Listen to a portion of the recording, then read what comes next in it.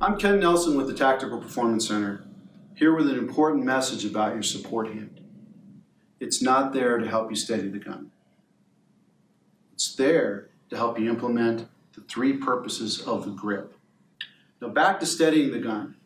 Look, the most accurate shooters with handgun in the world are Olympic shooters, and they're doing it with one hand. Okay? So we don't need the other hand to steady the gun. We need its help implementing the purposes of the grip better. Those purposes are, if you recall from our other videos, minimize the travel that you're getting during muzzle flip, provide for consistent return to sight alignment after the shot, and the third is to provide sight alignment by feel. Recall from our other videos, that's the concept of holding the gun through a stiffened wrist at the angle that you aim it. The minute I touch the gun, it's at that angle. It helps us get the sight alignment done instantly so that it's there, we can confirm it very quickly and shoot. So what is the biggest problem I see with students in terms of how they're using the support hand to help implement the three purposes of the grip?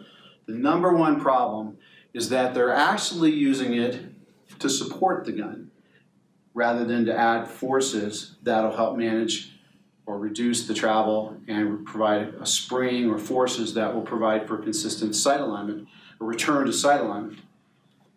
So we're all familiar with this infamous teacup, right? I'm yeah, I'm to shoot this, right? And everybody, I think, in the modern world, we recognize that that's not a particularly effective way to shoot a handgun. But what happens if you're doing that, but it doesn't look like a teacup? It looks like this. Okay? It's fundamentally the same. It's just there and it's just kind of connected. It's a little bit better in that we got some friction there to hold on to the gun with. But it's not really using the support hand to the full extent that it could. Here's a way to tell if you're doing it. Go ahead and build your, your, your grip. And now just doing nothing with your support hand, just take it off the gun. Would you throw a punch this way? Go ahead and try it. I don't throw a punch this way. I throw a punch this way. Okay?